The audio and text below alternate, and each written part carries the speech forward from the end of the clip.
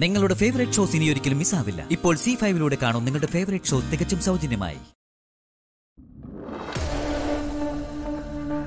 സത്യം സത്യമായി തന്നെ എന്നോട് പറയണം. ആരെയും പേടിക്കേണ്ട കാര്യമില്ല. പറയാം സർ. ഈ നിൽക്കുന്ന എ സി പി കാർത്തിക് കുട്ടിയുടെ അനുവാദമില്ലാതെ കുട്ടിയെ ബലമായി പിടിച്ച് കഴുത്തിൽ താലി കെട്ടിയതാണെന്ന് കിട്ടും. അത് സത്യമാണോ?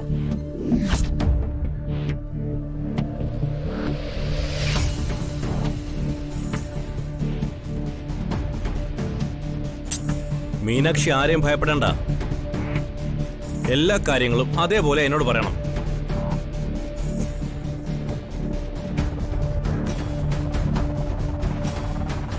മീനാക്ഷിയെ കാർത്ത് ബലമായി മീനാക്ഷിയുടെ അനുവാദമില്ലാതെ വിവാഹം കഴിച്ചതാണോ എന്ന്.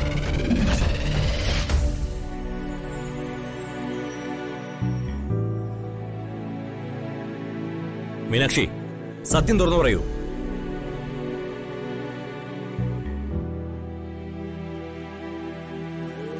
സാർ കേട്ടതൊക്കെ തെറ്റ.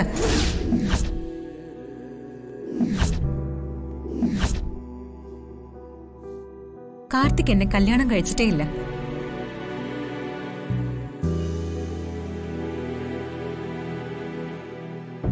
മീനാക്ഷിയുടെ കാര്യത്തിൽ കാർത്തിക് താലി കെട്ടിന്നാണല്ലോ എനിക്കറിയാൻ കഴിഞ്ഞത്. കാർത്തിക് എന്നെ കല്യാണം കഴിച്ചെങ്കിൽ എന്റെ കഴുത്തിൽ താലി കാണണ്ടേ സർ?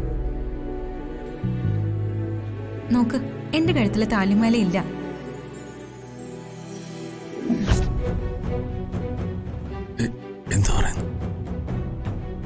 കാർത്തിക്കിന്റെ ഭാര്യയുടെ പേര് മൈഥിലി എന്ന. അവർ തമ്മിൽ ചെറിയ സൗന്ദര്യപ്പണക്കത്തിലായതുകൊണ്ട് അവരുടെ കുഞ്ഞിനെ ഞാൻ നോക്കുന്നുണ്ട്. അതെന്റെ അച്ഛന്റെ പെങ്ങളുടെ മകനെന്ന ബന്ധം വെച്ച. അതിലപ്പുറം ഞങ്ങൾ തമ്മിൽ ഒന്നുമില്ല.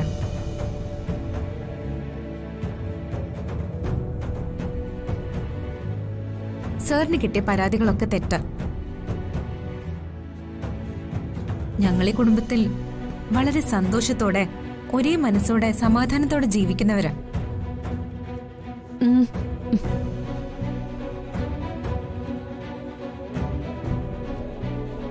മിസ്റ്റർ കാർത്തിക് നിങ്ങളെ തെറ്റിദ്ധരിക്കേണ്ടി വന്നതിൽ സോറി. എല്ലാവരുടെയും കൂടി ഞാൻ ഇറങ്ങുന്നു. ശരി സാർ.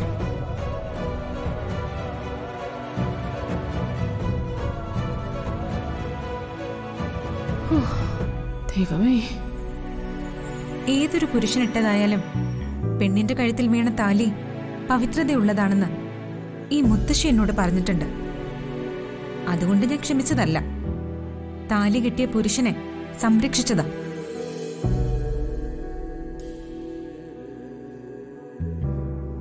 പൊതുമധ്യത്തിൽ എന്നെ അപമാനിച്ച പോലെ എനിക്കും അപമാനിക്കാമായിരുന്നു.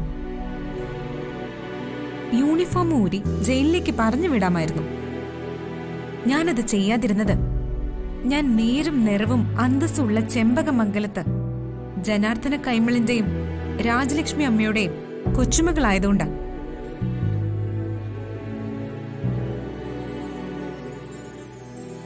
അവരുടെ മൂത്ത മകൻ ജയരാമന്റെ മകളായതുകൊണ്ട് മാത്രം. ആരോടും പകയും പ്രതികാരവും ഒന്നും പാടില്ലെന്ന്. ദാ എന്റെ അമ്മ എന്നെ പഠിപ്പിച്ചിട്ടുണ്ട്.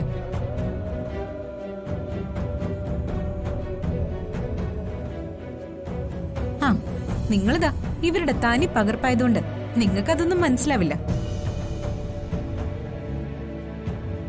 നിങ്ങൾ നിങ്ങളുടെ മനസാക്ഷിയോട് തന്നെ ചോദിക്കണം. എവിടെയാണ് നിങ്ങൾക്ക് തെറ്റു പറ്റിയതെന്ന്? എന്നിട്ട് സ്വയം തിരുത്താൻ നോക്കണം.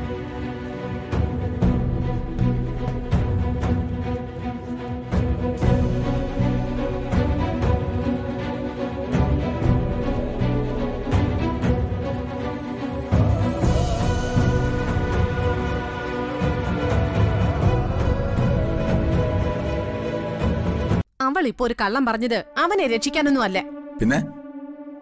പിന്നെന്താ അവനെ ശിക്ഷിക്കാനായിരുന്നു? അവൾ മനസ്സിൽ മറ്റെന്തോ വെച്ച. ഇപ്പൊ ആ ഡി ജി പിക്ക് മുമ്പിൽ മൊഴി കൊടുത്തത്. അയ്യോ എന്റെ ദൈവമേ ഇവളൊന്നും ഒരിക്കലും നന്നാവത്തില്ലേ? ദേ അവൾ ഇനി എനിക്ക് പൊന്നുകൊണ്ട് പുളിശ്ശേരി ഉണ്ടാക്കി തന്നാലും അവളോട് ഞാൻ ക്ഷമിക്കില്ല. കാരണം അവൾ എന്റെ മകന്റെ ജീവിതം തകർത്തവളാ. ഇവളൊക്കെ ഇത് എന്ത് ജന്മം? 不，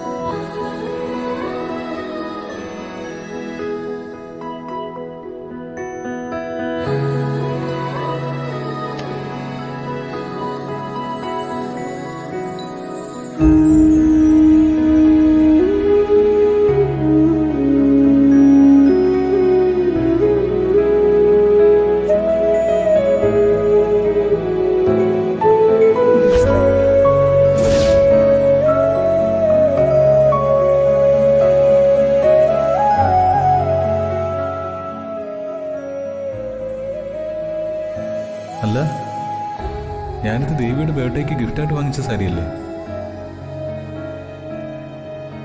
ഇത് മാധുരിക്ക് നന്നായിട്ട് ചേരും. ഇവിടെ തൊടുത്തപ്പോൾ നല്ല സുന്ദരിയായിട്ടുണ്ട്.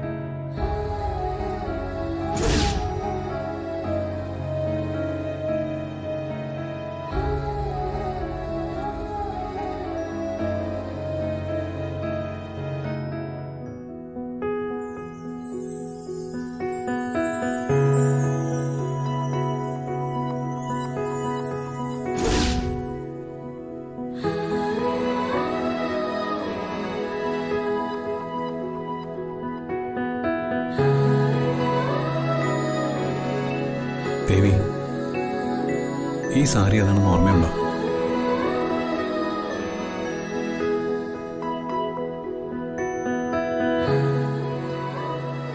അതെനിക്ക് മറക്കാൻ പറ്റുമോ ചേട്ടാ? ചേട്ടൻ എനിക്ക് പിറന്നാൾ സമ്മാനമായി തന്ന സാരിയല്ലേ ഇത്. പിന്നെ എന്റെ ജീവിതം പോലെ തന്നെ ഈ സാരിയും എനിക്ക് ദാനം ചെയ്യേണ്ടി വന്നു. അന്നേ തൊടുത്ത് വിജയിച്ചതുപോലെ നിന്ന് മാധുരിയുടെ മുഖം എനിക്കിപ്പോ ഓർമ്മ വരുന്നത്.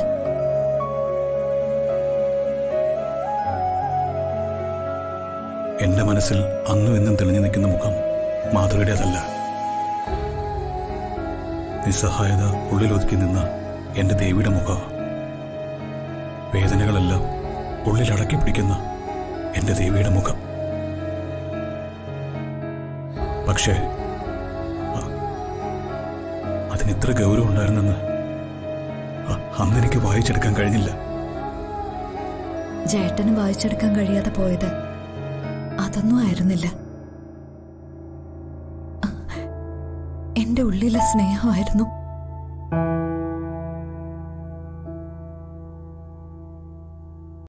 ഡൗൺലോഡ് ചെയ്യൂ സി ഫൈവ് ആപ്പ്. കാണൂ എല്ലാ എപ്പിസോഡുകളും സൗജന്യമായി.